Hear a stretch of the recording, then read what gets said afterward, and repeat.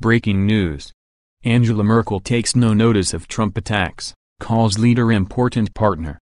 German Chancellor Angela Merkel is refusing to bite against Donald Trump's repeated attacks towards her, telling journalists she tries to be accurate rather than engaging in his war of words. Merkel faced questions about Trump's accusations of her being totally controlled by Russia at her annual press conference on Friday.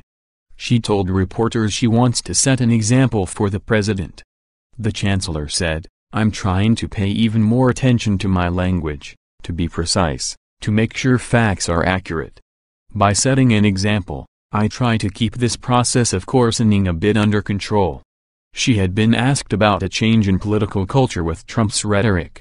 The leader replied, I believe there is a pretty close link between thinking, speaking, and acting. Trump has repeatedly attacked the German leader in recent months, most recently last week.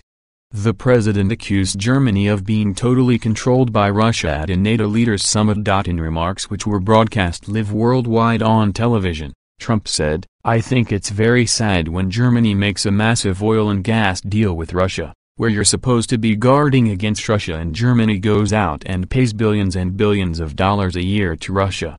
He continued by also criticizing Merkel's French neighbors, adding, so we're protecting Germany, we're protecting France, we're protecting all of these countries.